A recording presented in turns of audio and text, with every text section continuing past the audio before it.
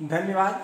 बच्चों, आज मैं पुनः लेकर आया हूँ वर्ग दसम के पाठ्य पुस्तक क्षितिज के गद्य भाग से सर्वेश्वर दयाल सक्सेना द्वारा लिखा गया मानवीय करुणा की दिव्य चमक। मानवीय करुणा की दिव्य चमक में मुख्य तौर पर सर्वेश्वर दयाल सक्सेना ने फादर कामिल बुलके की जीवनी पर प्रकाश डाले हैं।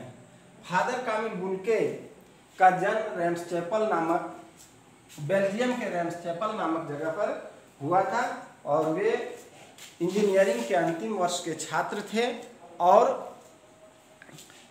वहीं से उन्हों, उनके मन में पता नहीं क्या विचार उत्पन्न हुआ कि पढ़ाई छोड़ करके वे पादरी का बनने की इच्छा ज़ाहिर किए और वो भी भारत आने की इच्छा व्यक्त किए और उन्होंने पादरी का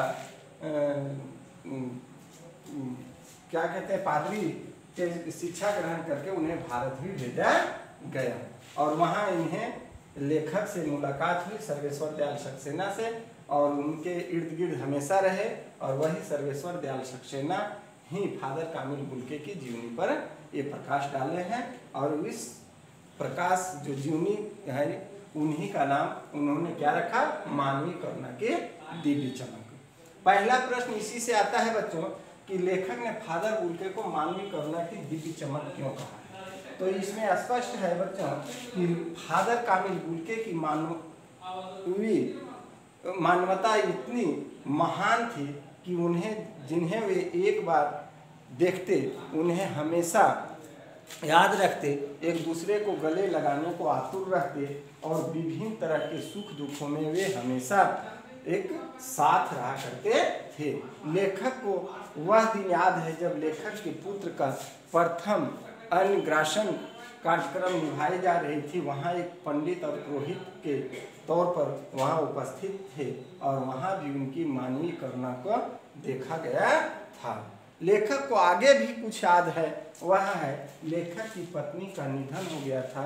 उस समय भी फादर कामिल बुलके उन्हें सांत्वना देते हुए कहे थे कि यह तो प्रकृति का नियम है, हमें किसी से हार नहीं मानने चाहिए। इन्हीं सभी घटनाओं को देखते हुए लेखक ने फादर कामिल बुलके को मानवीय करुणा की दिव्य चमक कहा है। अगला प्रश्न है बच्चों फादर बुलके ने सन्यासी की परंपरागत छवि से अलग एक नई छवि प्रस्तुत की है कैसे? इसमें ध्यान देने वाली है बच्चों, क्या कि फादर कामिल बुलके जो थे, वे, क्या थे? सन्यासी थे और वे पादरी धर्म का प्रचार प्रसार कर रहे थे।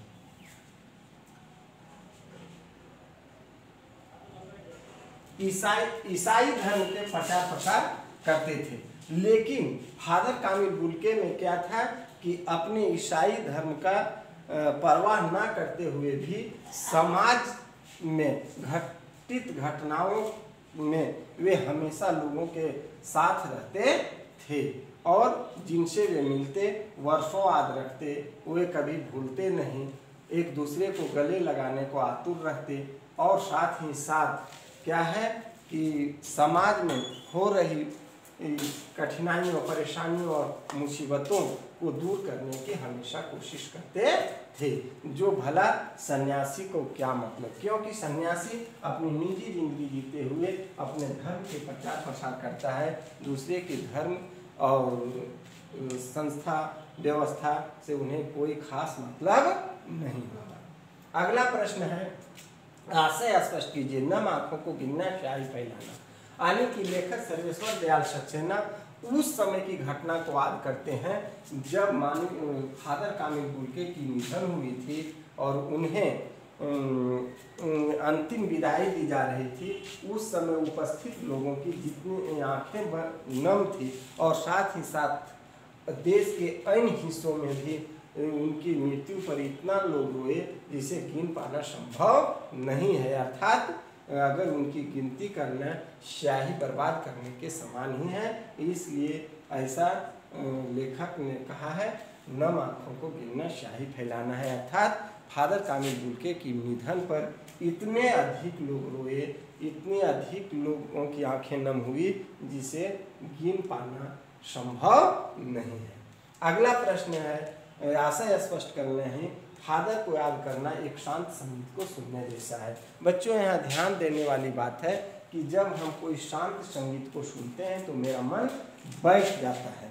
ठीक उसी तरह फादर कामिल बुलके की व्यक्तित्व इतनी महान थी, उनके अंदर इतनी प्रेम थी, इतनी सहिष्णुता थी, इतनी दयालुता थी कि अगर उनकी मृत्यु के उपरांत अगर उसे याद किया जाता है तो मन बैठ जाता है। तो धन्यवाद बच्चों, ये प्रश्न का आंसर कंप्लीट हो गया।